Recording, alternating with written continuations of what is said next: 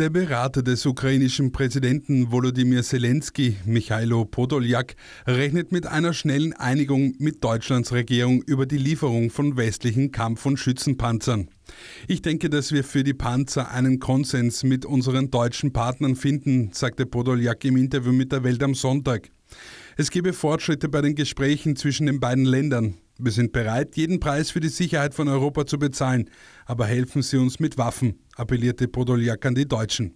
Die Rückeroberung weiterer Gebiete im Süden und Osten der Ukraine hängen auch wesentlich von weiteren Waffenlieferungen ab, fügte er hinzu.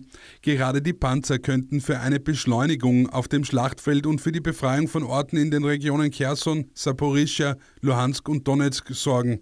Und Deutschland könnte uns dabei mit den Leopard- und Marder-Panzern optimal helfen. Bisher lehnt die deutsche Regierung die Lieferung von Panzern westlicher Bauart an die Ukraine ab. Kanzler Olaf Scholz argumentiert dabei, es dürfe hier keinen deutschen Alleingang geben.